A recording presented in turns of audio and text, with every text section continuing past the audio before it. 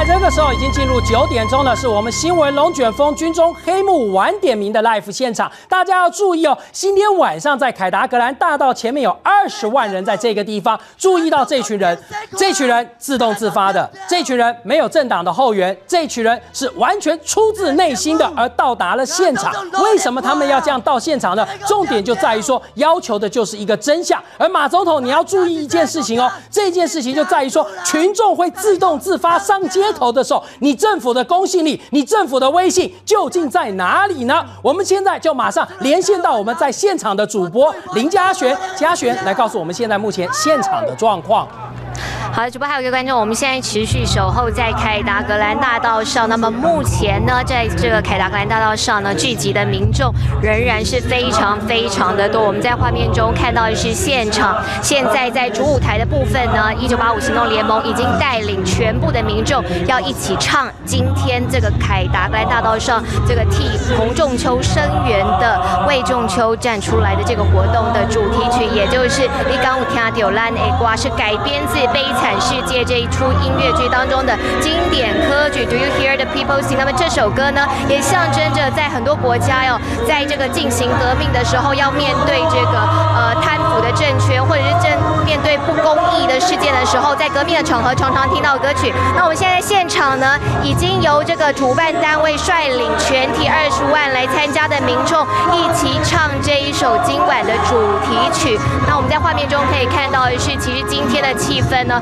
在过去一个小时可以说是非常的哀戚的。自从这个洪家的这个洪妈妈上台，感谢所有的这个到场支持洪仲秋的民众开始呢，就有不少民众呢是边听着台上的这个主讲人讲话，一边拭泪跟啜泣的。那么随后呢，有超过二十名的这个受害的这种这个呃军中的这个受害者家属上台控诉他们的孩子在这个好，我们现在来看一下现场，就是已经唱了今天的主题曲哦，立刚舞听丢蓝眼瓜，马上来听现场的画面。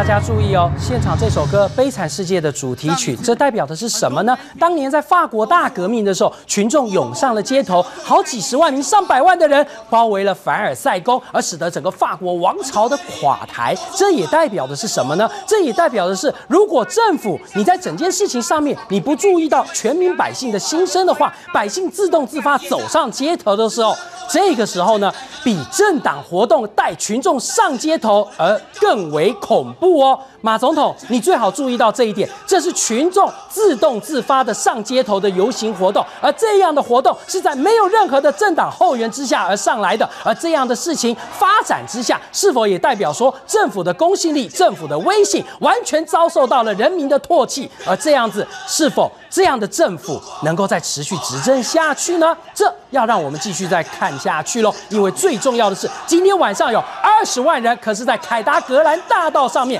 可是呢，军方的军高检照理说是应该要帮洪仲秋的，因为呢，洪仲秋是个被害者。可是大家昨天呢、前天听到这个洪大姐拿出了吴亦竹的自白录音带之后，军高检曹金生讲了一句什么话？哎呦！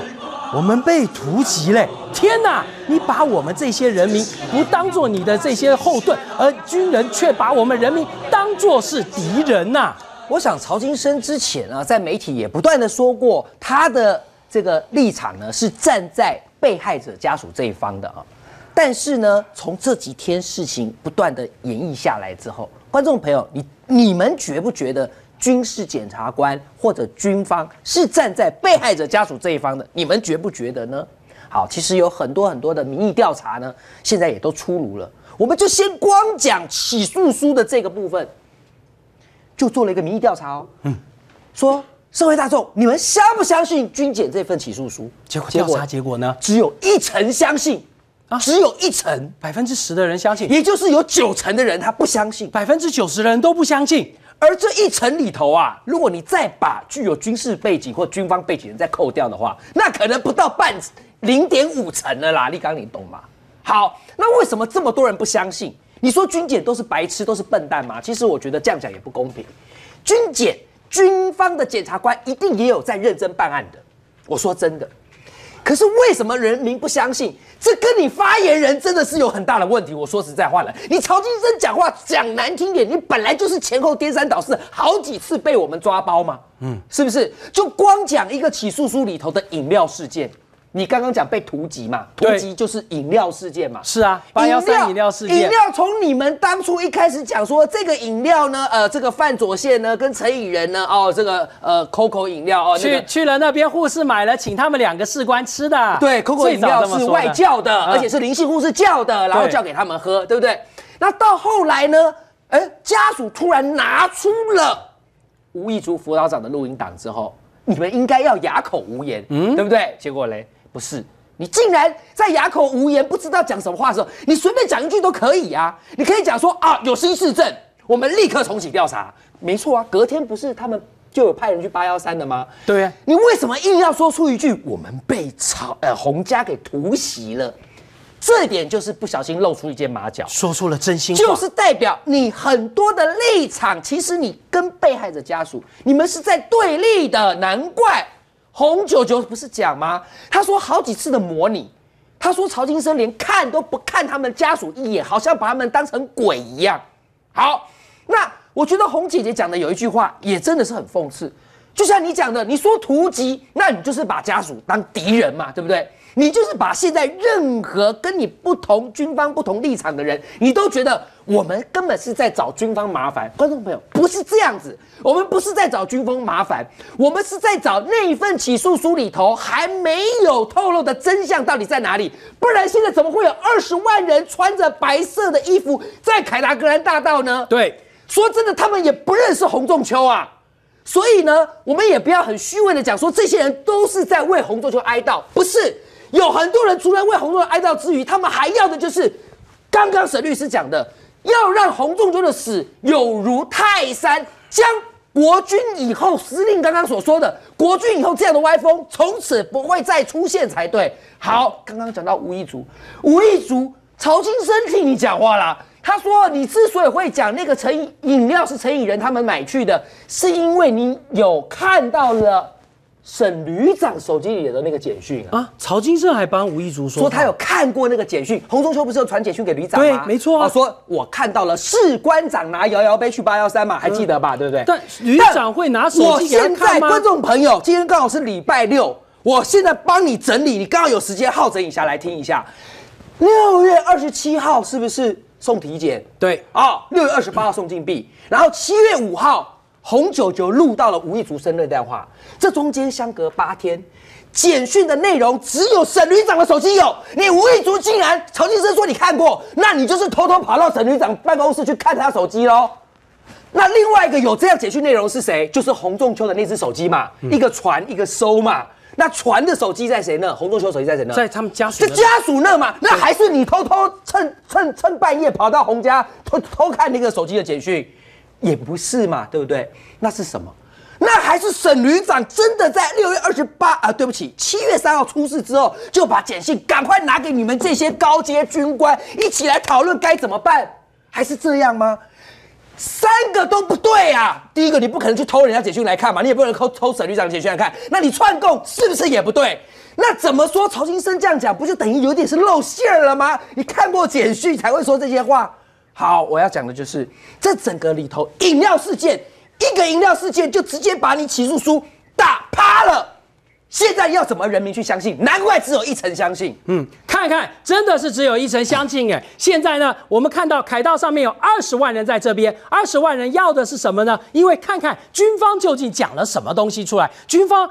好像什么都没有告诉大家，再来看看政府给了我们民众什么？好像政府也没给我们民众什么呢？我们今天在这凯道上面看到的只有猴妈妈的哀伤，猴妈妈失去了儿子，猴妈妈想要的是什么？猴妈妈只要想要一件事情：我儿子为什么会死？死的真相究竟为何？为什么我儿子会惹上这样的杀身之祸？而这样的杀身之祸的最初的元凶究竟是谁呢？可是整件事情发展到现在。我们看到的是什么？好像什么都没有看清楚。看看现在的 life 的现场，看到红妈妈刚刚到了现场的讲话的画面，我们看到的是红妈妈的哀伤。但是所有的群众也哀伤，因为大家哀伤的是政府没办法给我们真相，军中没办法给我们事实。而现在这个时候，民众该怎么办呢？自发自动的群众上了街头，超过了二十万的时候，这个时候，马总统你还真要小心点嘞，因为这没有正当的澳元之下，这些群众上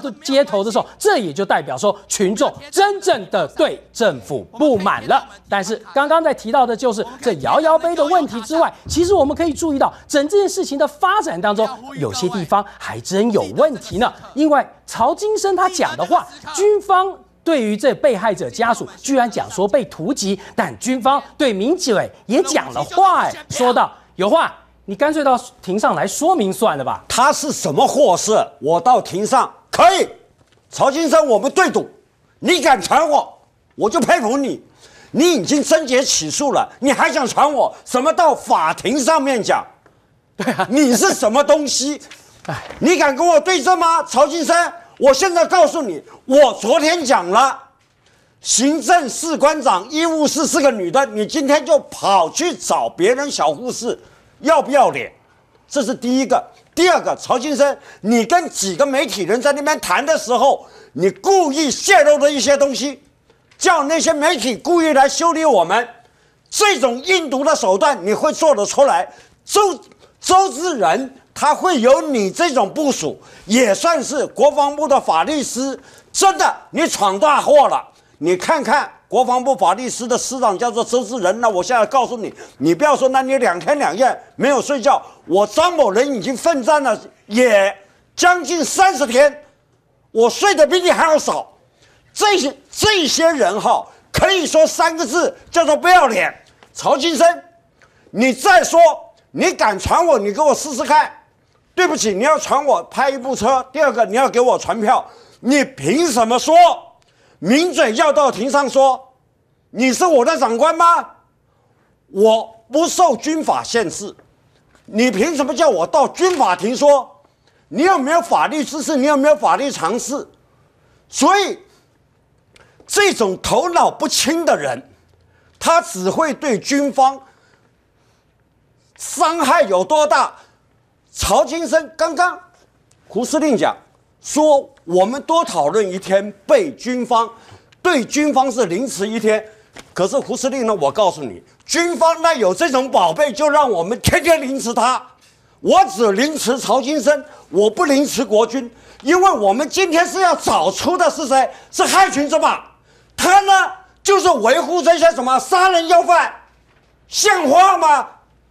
为了一个曹金生，你曹金生，你去袒护这一些人的结果，你就让全体国军受到凌迟嘛？所以这个是逻辑问题嘛？我必须我要讲，曹金生，我现在跟你对话，你不是我的对手，你也不是那个咖。我坦白跟你讲，那我打过十六场官司，那你打过几场官司啊？陈水扁告我十六个官司，我都不怕了，我还怕你曹金生呐？是今天真正凌迟国军的不是我们，就是像你们这种人，一天到晚去袒护被告。我现在问你，你敢不敢明天传黄天任的太太行政司官长？你敢不敢传？我就跟你打赌嘛，你明天敢传，那我佩服你；你明天不传，你给我下台。对不对？你非要逼着我讲这个话。当我讲到医务室，你就去传小护士。好了，那个人就黄那个黄天任的太太了，是他妻子了。那我今天讲了，我就看你明天传不传。你就那个时候不要跟我说，哎呦八一三哦，那个人是谁哦？我不知道，你不要给我装迷糊。我现在只跟你讲个一句话。我真的是非常的气，看你今天去传那些小故事，你有种，你传黄天任的太太，今天呢我讲了，我负法律责任，你敢不敢负法律责任？黄天任的太太有没有去看衣冠乔事情？何江中为什么叫他大嫂？如果你听不懂我的中文的话，曹金生。请你撤路，我求你撤路，去问问行政司官长，跟黄天任是什么关系？至少黄天任是个上校，你还是个少将，你这个少将居然要帮上市罪犯背书，你凌辱了中华民国给你少将的军阶。我只有三个字讲：你敢传，我就敢讲。我不然的话，我们对赌。如果我有讲错，那我下台；如果你有讲错，你也下台。看看曹金生，你听到了吗？你这样子叫名嘴到法院来说，而且用私下用小话去跟某些记者讲，你不觉得整件事情实在是件很荒谬的事情呢？但是所有的观众朋友，大家要注意一件事情哦，我们今天主要针对的是洪仲秋这个案件，我们主要针对是国军当中的那些老鼠屎，我们最主要是要。当中要揪出那些败坏军纪的军人，但是所有的国军并不代表说所有的国军都是差的哦，因为国军里面还是有非常优秀、非常好的国军人才存在。可是曹金生，你真的是军法这方面来说，你是最高的军检署的署长，怎么好像讲起话来，怎么却偏偏好像没办过多少案件呢？但我们在说到整个案情的发展呢，其中我们注意到一件事情，陈义勋。十五万元交保，陈奕迅为什么只有十五万元交保呢？其实他最重要的可是凌虐致死罪，这罪行来说算是一个最重的，从七年以上到无期徒刑。哎，沈律师，我想请问一下，为什么陈奕迅却是十五万元交保？你从从这个金额就可以看出来了，他们那个关机的那个文化都还在，他那个越往上，结果那个金额反而越高，哦，代表的好像就是说他们好像更有利，然后更关阶更高的那种感觉。嗯，所以这个时候你当然会发现说，其实。法院也透露了一种心态，就是他们早就认为这个陈奕迅是不可能会跑的，嗯，因为他就是那个替罪羊嘛，他就是第一线一定可能会被判凌虐致死的那一个人，所以他不会跑，马上十五万元就给他交保了。但是问题是交保这件事情，我昨天就有讲过，他根本就是在演一出戏，法官在演戏，检察官也在演。你觉得根本就是一出戏？这四个人九十万元就这样交保，这四个人一条命，这从中秋一条命就值这交保的九十万而已呀。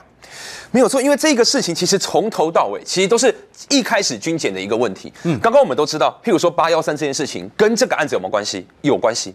伪造文书跟这个案子有没有关系？有关系。今天为什么要办这个案子？就是因为洪仲秋死了。然后我们看到很多人可能跟他的死亡有关系，所以军检才要进来办嘛。嗯，结果军检竟然故意在起诉书上面忽略了八幺三，忽略了伪造文书，故意什么谈都不谈，跟陶检完全相反嘛。陶检是可能性全部列出来跟你讲说，对不起，我们找不到证据。他们不是，他们是连列都不列。所以陶检其实他的记者会里面是可能性的列出我找不到很多东西了。没错，军姐等于摆明暗示说我军姐你其实很多东西根本没给我了嘛。没错啊，啊，军检反而相反呢。他今天所有的东西就是告诉你说，哎，我就定调在这里了。那其他的可能性，他连列都不列出来，他不会说列出来再跟你说反驳说。但是根据我们的调查啊，这个不符合，所以我们虽然本来怀疑，但是我们不能起诉。他不是这个样子，他起诉就是告诉我们，就短短的几页而已嘛，告诉我们说这个案子就是定调在妨碍行动自由，这个部分就是凌虐致死，你陈奕迅一个人扛嘛。嗯，那这样的话，怎么还会有正义存在呢？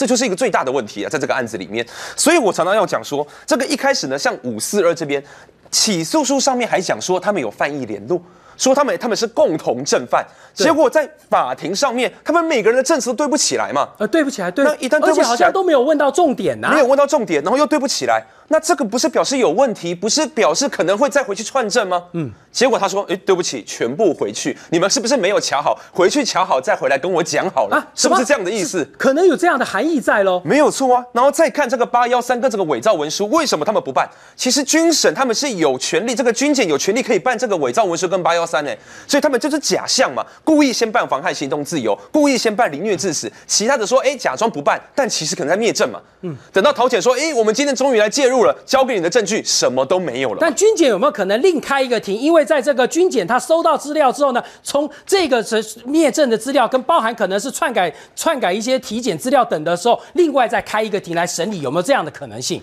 他理论上他可以这样做，但他不会做哦，因为前面的动作没有做了嘛，都不会做，所以他可能灭完之后给陶检，然后陶检再出来说啊，对不起，我们都查不到，又在帮军检背书了。嗯，说八幺三没有这回事，说伪造文书没有这回事，这个案子就这样定掉了嘛。嗯，陶检又被利用了，就会变成这个样子。嗯。陶检太晚出发的话呢，到最后就什么事都办不了。可是像军检现在这样子，陈奕迅十五万元这么少的金额就可以交保，但是呢，是否军检他认为说陈奕迅他们已经没有串证灭共之嫌呢，所以才给他顺利交保呢？